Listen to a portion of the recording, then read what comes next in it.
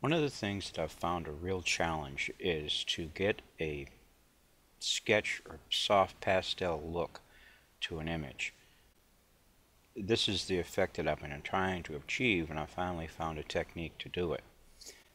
Usually if you use uh, a brush or some type of a filter you end up with an image that has some type of a repeated mathematical pattern in it and it just it just looks like it was created using a piece of software and not drawn.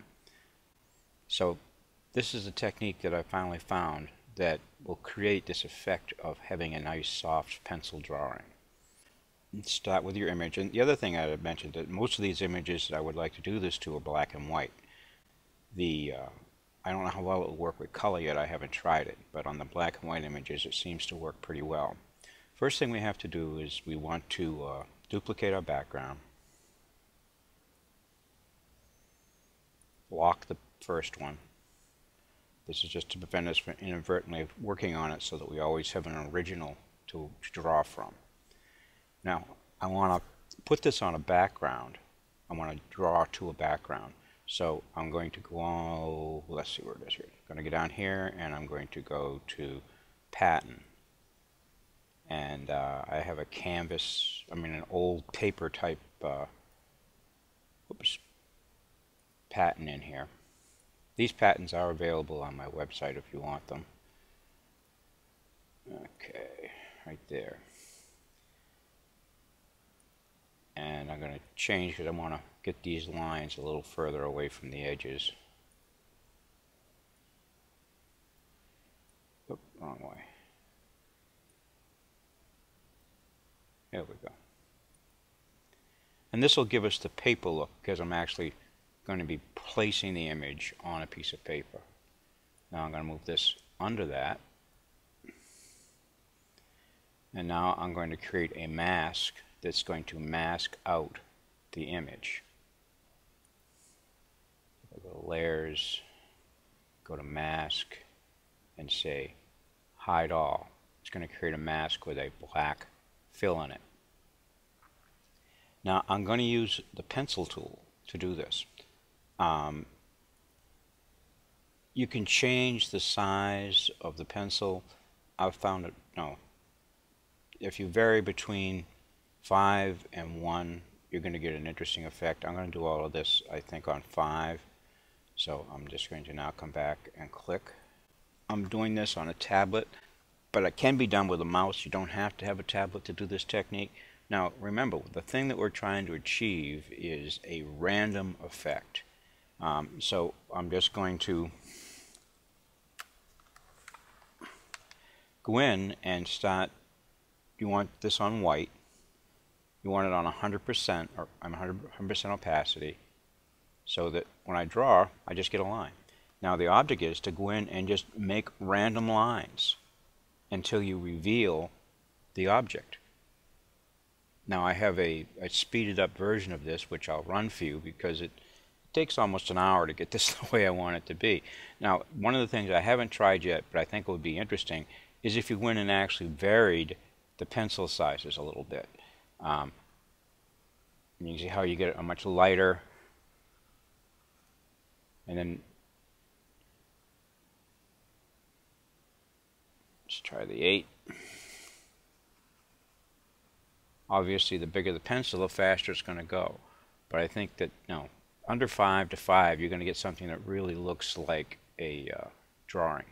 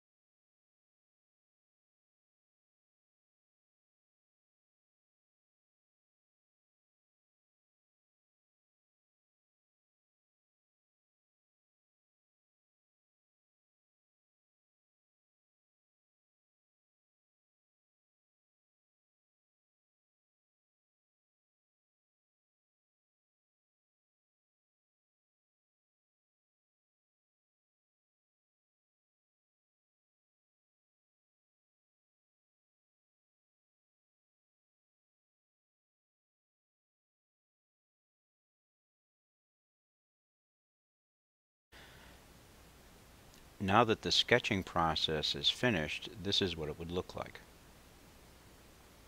Now what I want to do now is, is work the image up to get more of a drawing effect into it. So one of the first things I wanted to do is I added in some textured layers. Now you want a layer that's going to brighten the image up.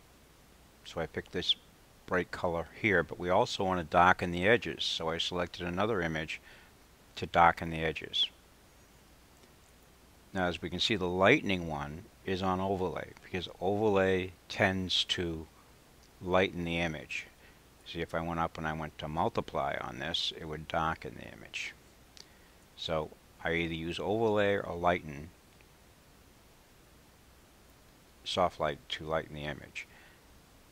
Now the next one is designed to darken the edges or darken the image. On this case I have it on overlay but I might have wanted to go to multiply. But in this particular case, I decided to use overlay for both. Now I have the feel in the color that I want, but the lines are still a little too predominant. So what I did was I duplicated the background and moved it up. So I had this. Then I went to opacity and just toned this down just to bring back a little bit more detail. Then I merged all of the images to a new layer. And I needed to do this because the next step I was going to do is I was going to run it through a filter called Snap Art. And we can see how the Snap Art has softened it up. Now I'm going to demonstrate how the soft Snap Art works. So I'm going to shut this off. So here is my collapsed image with all the layers below. I just go up to Filter. I go down to Snap Art. Snap Art 4, which is the, the uh, newest one. And it opens up. Now we have a tremendous amount of choices here and that's one of the things I like about this particular piece of software. But because I just want to get a quick simple effect on this one I go down and I click on watercolor. And you can see down here I have different amounts or effects that I can get using the watercolor filter. But what I want is detail because all I want to do is slightly soften the image now I can come on over here and I can adjust this. I can make the brush size larger or smaller, which will reveal more detail. I can use increase the photographic effect of the image. Now I'm just going to cancel this because we've already done it. But if you want to do it, you just... And this is the effect. Here is the image right here. And again, if I take it up to 100% opacity, that's, whoops, sorry. If I take it up to 100% opacity, you can see that's what it would look like. So what I do is I just go in and adjust this to soften the image just enough to get the effect I wanted.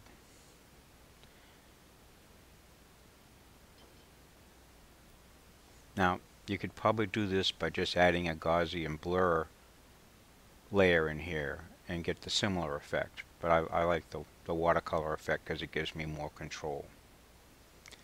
But so these are the steps that I use to produce this particular effect of a soft drawing. I hope you find this helpful. If you have, let me know. And if you did find it helpful, please click like for me. Thanks a lot. See you later.